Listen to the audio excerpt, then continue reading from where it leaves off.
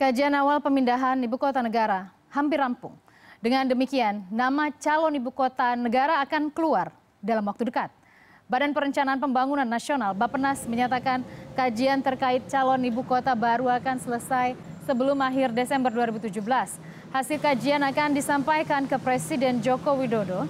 Kajian pemindahan ibu kota tersebut terkait dengan lokasi, pembiayaan, dan perkiraan kebutuhan. Namun belum terkait dengan desain ibu kota. Saat ini kajian pemindahan ibu kota masih terus dilakukan dan persiapannya akan dimulai pada 2018.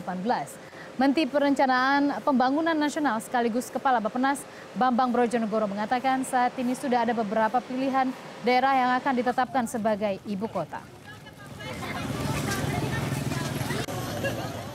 Sebelumnya Menteri Pekerjaan Umum dan Perumahan Rakyat PUPR Basuki Hadi Mulyono mengatakan calon ibu kota baru yang dikaji berada dalam tiga provinsi di Kalimantan, yakni di Kalimantan Tengah, Kalimantan Timur, dan Kalimantan Selatan. Salah satu kandidat kuat yang sempat mencuat adalah kota Palangkaraya, Kalimantan Tengah. Sebelumnya kota Palangkaraya juga sempat menjadi kandidat ibu kota di era Presiden Soekarno.